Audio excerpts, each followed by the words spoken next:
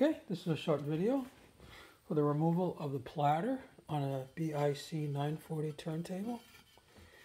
So this turntable goes back probably to 1980 or 1979. hasn't been used in probably 10 or 20 years.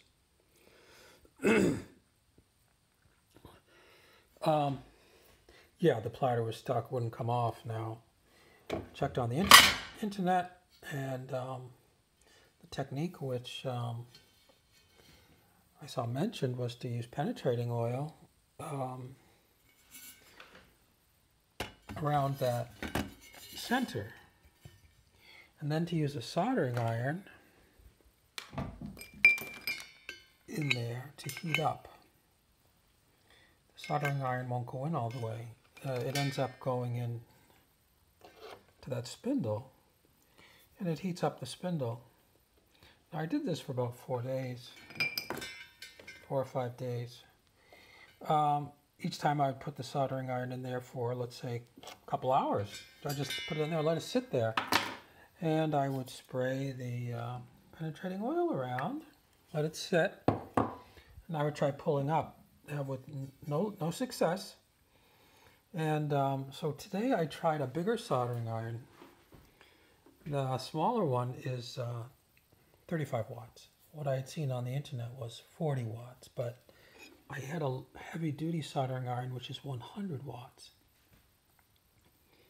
What I did was I retracted the tip as far as it would go so that I would only heat the top of the spindle. I didn't want to heat any further down because I looked in there, I didn't know what was going on down in the bottom. I didn't want any extra heat possibly to damage something.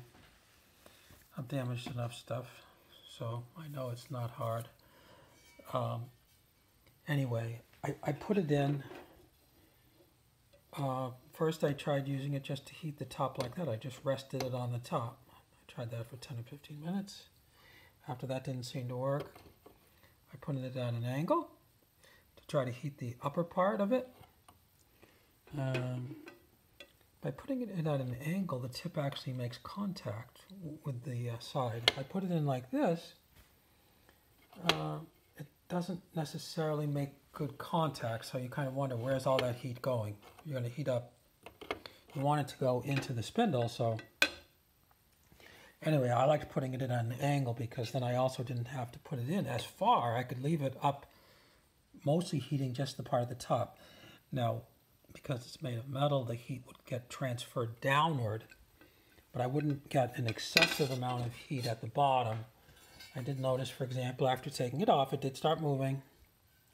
First, I started noticing that when I tipped it this way, it started moving without having the little keyed slot move.